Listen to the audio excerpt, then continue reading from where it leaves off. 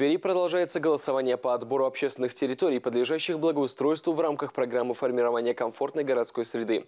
В перечне представлено 9 общественных зон, расположенных по всему городу.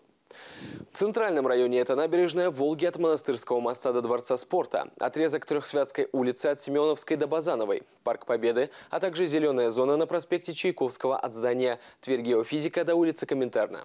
В Заволжье речь идет о молодежном бульваре и сквере на улице Артюхиной. В Московском районе предлагается проголосовать за территорию между 33 и 39 школами, либо Заволжскую набережную от Смоленского переулка и до Мелькомбината. Ну и в Пролетарском районе также можно отдать свой голос за набережную Волги, но уже Мигаловскую.